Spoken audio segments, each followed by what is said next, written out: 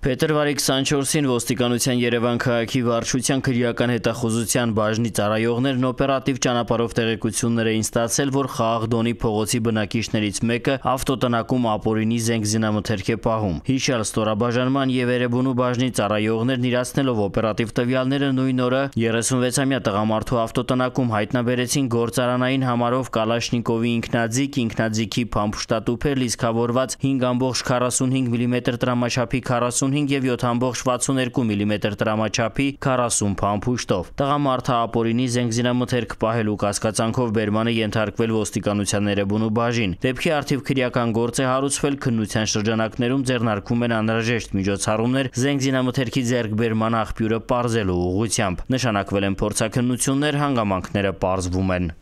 Ծանուցում. Ենթադրյալ հանցանքի մեջ կասկածվողը կամ մեղադրվողը համարվում է անմեղ, քանի դեռ նրա մեղավորությունն ապացուցված չէ Հայաստանի Հանրապետության քրեական դատավարության օրենսգրքով սահմանված կարգով՝ դատարանի օրինական ուժի մեջ մտած դատավճռով։